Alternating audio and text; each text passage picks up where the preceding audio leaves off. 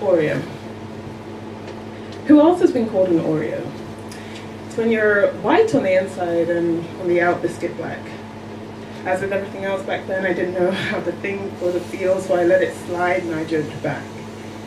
But what was so white about me? Maybe it was my aversion to discussing race. Maybe, as I often thought, it was my alternative music taste or a desire for silky straight hair that could someday reach my waist.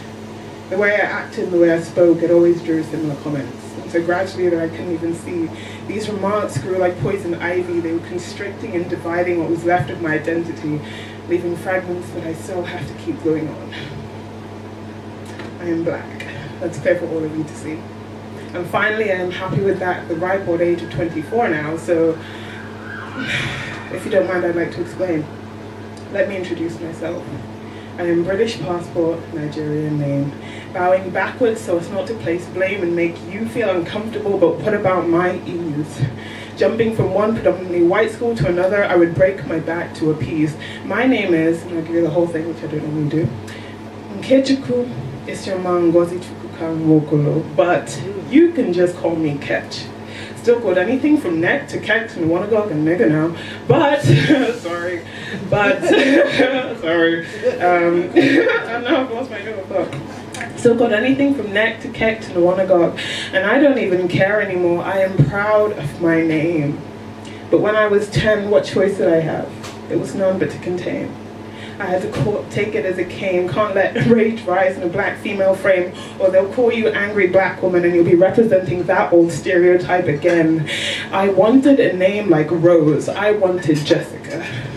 I wanted anything but the murmurs that rose when registers were read by substitute teachers, and isn't it a shame? Kind of conditioned to have anything but pride in where I came from, who I am. And yes, I wish so hard that I knew the language of my people. The only words I could exchange with my great grandmother were the in Jesus' name we praise as she blessed me for the next few years that we wouldn't see again. Lord, I miss them. Black faces, full stop. I'm often reeling, feeling odd to, to for once not be the only one.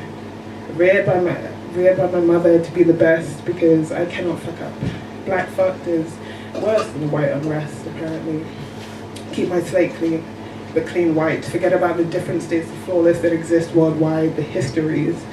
It has never been just one. So if you want to call me an Oreo, I could be okay with that. Because there's nothing wrong with black and there's nothing wrong with white. Nothing wrong with a coffee colored mix or everything in between.